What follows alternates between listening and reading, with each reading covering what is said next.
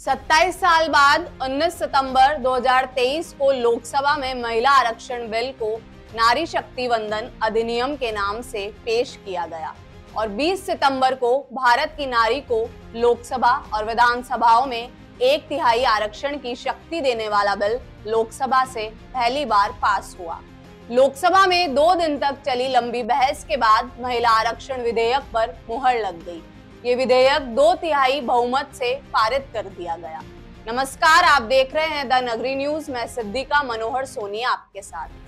ऐतिहासिक महिला आरक्षण विधेयक बुधवार को लोकसभा में पारित हो गया। बिल के समर्थन में चार और विरोध में दो वोट पड़े।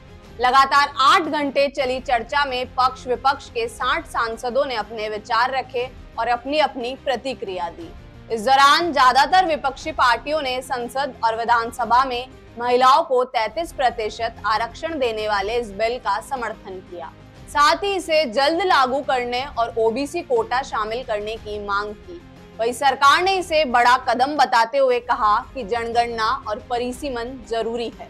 इस चर्चा में अमित शाह, केंद्रीय कानून मंत्री अर्जुन राम मेघवाल, स्मृति ईरानी, सोनिया गांधी राहुल गांधी समेत कई सांसदों ने अपनी बात रखी।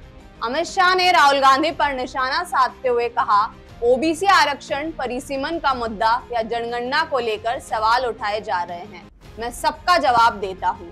सबसे पहला जवाब, विद्यमान संविधान में तीन तरह के सांसद आते हैं, जो सामान्य, एससी और एसटी कैटेगरी से आते हैं। ये तीनों कैटेगरी में हमने महिलाओं का 33 फ़ीसदी आरक्षण कर दिया है। अब एक तिहाई सीटों को आरक्षित करना है। तो वह सीट कौन तय करेगा? अगर वायनाड आरक्षित हो गया तो आप कहेंगे हमने राजनीति की है। आगे शाह ने कहा कि उन्हें लगता है कि सरकार सेक्रेटरी चलाते हैं, लेकिन मैं कहता हूँ कि देश सरकार चलाती है। आगे केंद्रीय कानून मंत्री अर्जुन राम मेघवाल ने कहा कि परिसीमन को लेकर सवाल खड़ा किया जा रहा है।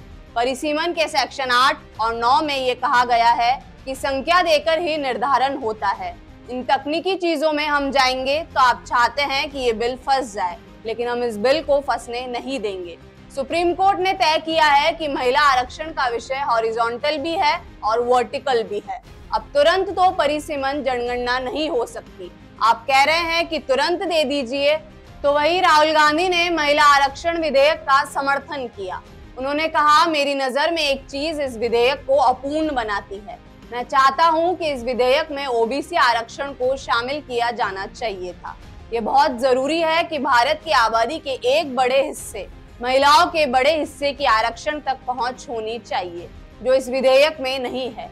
दूसरा यह है कि विधेयक को लागू करने के लिए नए परिसीमन की ज़रूरत है।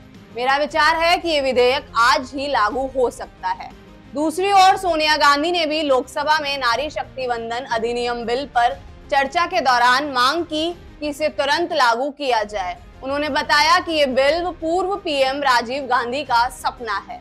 उन्होंने कहा, ये मेरी ज़िंदगी का मार्मिक क्षण है। पहली बार स्थानीय निकाय में महिलाओं की भागीदारी तय करने वाला संविधान संशोधन मेरे जीवन साथी राजीव गांधी ही लेकर आए थे। लेकिन ये सात वोटों से राज्यसभा में गिर गया था। बाद में इसे पीवी नरसिम्हा राव के नेतृत्व वाली कांग्रेस सरकार ने पारित कराया। इसी का नतीजा है कि स्थानीय निकाय के नतीजे के ज़रिए 15 लाख चुनी हुई महिलाएँ नेता है। आखिर में केंद्रीय महिला विकास मंत्री स्मृति ईरानी ने सोनिया गांधी पर निशाना साधते हुए कहा कि हमें बार बार कहा जाता है कि विशेष परिवार ने संविधान का तिहत्तरवा और चौहत्तरवा संशोधन पारित करवाया। लेकिन मैं आभार करती हूँ कि ये पुण्य काम पीवी नरसिम्हा राव ने किया। आगे स्मृति ईरानी ने कहा, विपक्ष देश को गुमराह करने की कोशिश कर रहा है। इस बिल के मुताबिक लोकसभा और राज्यों की विधानसभाओं में महिलाओं के लिए 33 प्रतिशत रिजर्वेशन लागू किया जाएगा। लोकसभा की 543 सीटों में से एक सौ इक्यासी महिलाओं के लिए आरक्षित होंगी।